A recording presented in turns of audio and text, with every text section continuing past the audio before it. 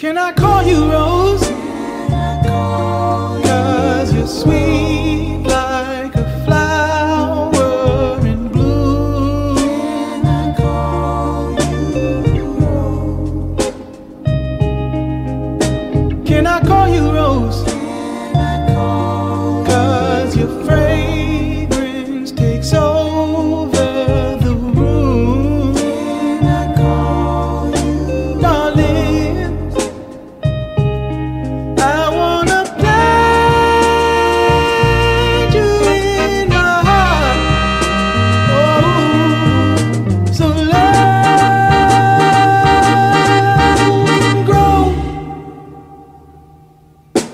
Can I call you Rose?